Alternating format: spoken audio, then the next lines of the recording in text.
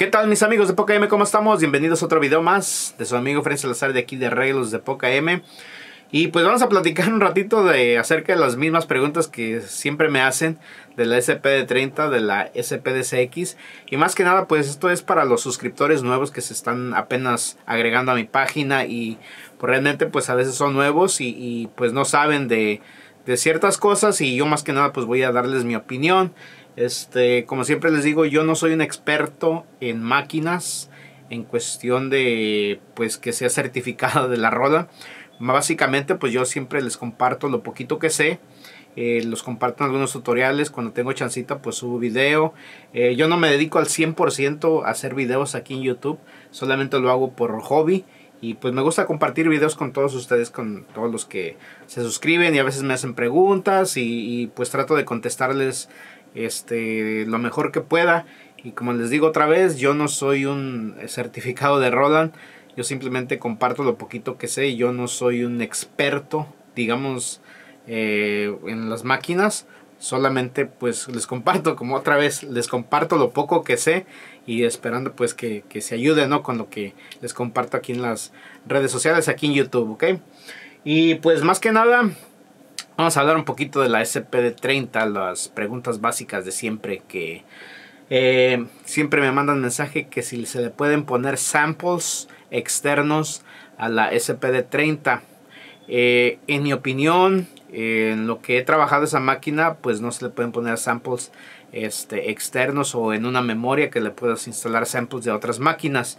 Eh, he ahí de vez en cuando me mandó un, un, comentario un camarada o dos camaradas, si no más recuerdo, que sí se les puede poner. Entonces yo les comenté que me gustaría ver cómo hacerlo, porque realmente pues yo no sé hacerlo y me gustaría que compartieran un video y con gusto pues iría a su canal y, y mirar el video, cómo lo hacen para instalarle los samples internamente eh, en la SPD30.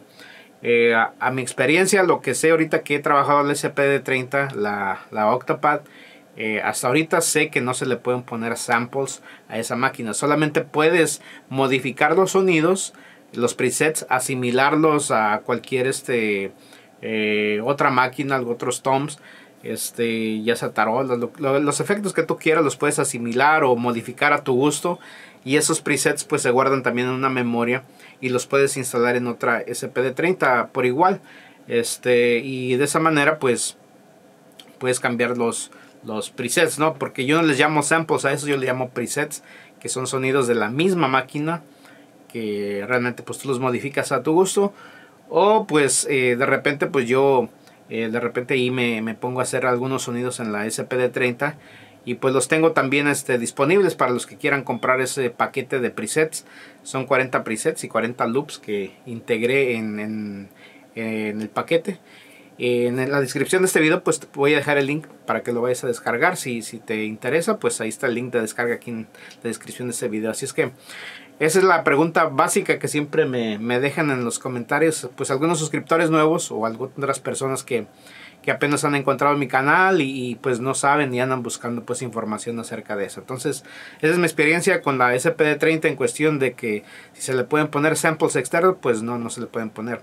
Ahora, que la puedes usar como controlador usando una laptop, algún programa ya sea Contact o Reason o cualquier otro programa que tengas samples integrados eh, en ese software o ese programa.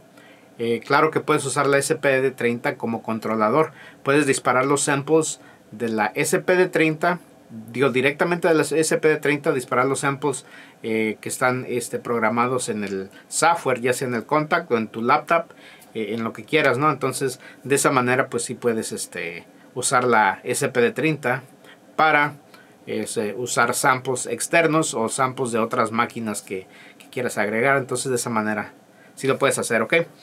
Y ahora de la SPDCX, pues esa sí le puedes poner samples externos. Ahora, esa máquina lo que tiene es que pues trae sonidos de fábrica que realmente pues en cuestión de la regional mexicano, lo que usamos nosotros los mexicanos acá en la onda grupera, este, pues no trae los toms electrónicos que buscamos, ya sea como el estilo Pegaso, el estilo Temerario, eh, el estilo, pues la onda grupera, ¿no? Que, que nos gusta a nosotros, eh, la onda pues este tropicalona que, que usamos nosotros otro tipo de sonidos pues la mayoría de los sonidos que vienen en la máquina SPDCX cuando la compras nueva, pues no los trae. Entonces simplemente trae algunos sonidos básicos. Entonces eh, esa es la diferencia que en esa máquina SPDCX sí le puedes agregar samples de otras máquinas, otros sonidos, otras percusiones, otros toms, otros, este, pues sí, sonidos externos de otras máquinas que sí le puedes agregar a la SPDCX. Entonces esa es la diferencia entre esas dos máquinas. la SPD30 pues está catalogada porque tiene eh, percusiones que usualmente todos los eh, latinos usamos y algunos toms electrónicos que, vienen ahí programados que también son muy buenos que, pues a veces no necesitas este otros sonidos.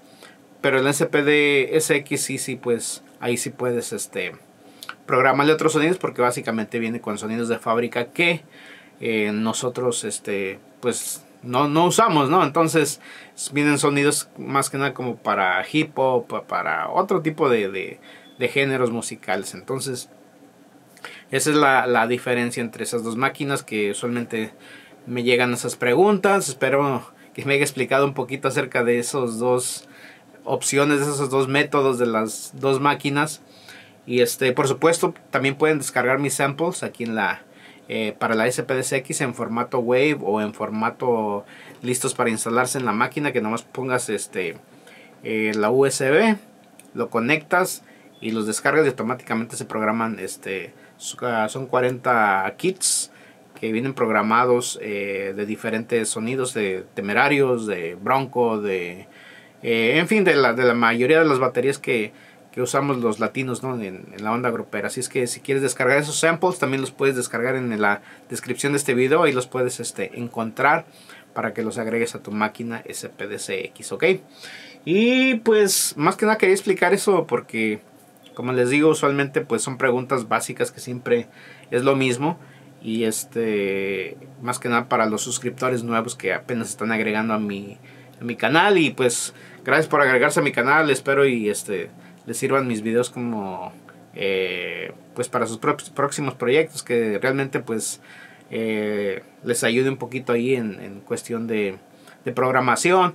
Otra cosa que quería agregar también es que eh, yo sé que me mandan mensajes de cómo este arreglar una máquina que se le quebró la pantalla o que se le quebró cualquier cosa, algún defecto de la máquina, pues realmente pues yo no soy un experto en eso de arreglar máquinas. Yo solamente pues lo que poco que conozco es programación, programar las máquinas, programar algunos sonidos y aún así pues todavía me faltan algunas cosas que aprender.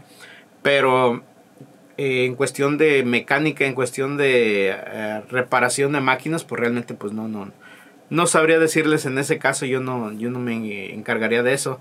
Este, se pueden comunicar a la página de Roland, ahí les pueden dar información de, de dónde pueden reparar sus máquinas o buscar en línea, pero realmente pues yo no sé cómo reparar máquinas, yo solamente sé lo poquito que sé en reparación, en cuestión de programación y hasta ahí, así es que hay mil disculpas a todos los que me mandan mensajes que me dicen que se me quebró la pantalla, que no sé cómo repararla, que cómo le hacen y todo ese rollo pues, pero pues realmente pues yo no, no sé, no sabría decirles en la cuestión de reparación de máquinas. Pero en cuestión de programación, lo poquito que sé, aquí están mis videos en mi canal. Así es que gracias por ver este video. Este, no se les olvide seguirme en mis redes sociales, eh, Arreglos de Poca M en Instagram, Arreglos de Poca M en Facebook y Arreglos de Poca M también en TikTok, también tengo TikTok, ahí hago de repente lo que eras. Y aquí síganse suscribiendo a mi canal, por favor, ahí agréguense a mi canal y comenten, sigan comentando, denle like a estos videos y este muy pronto les daré una sorpresita que viene por ahí, este, que vengo preparando para todos ustedes. Así es que gracias, como siempre les digo, éxito para todos ustedes, nos vemos en el próximo video, muchas gracias, bye.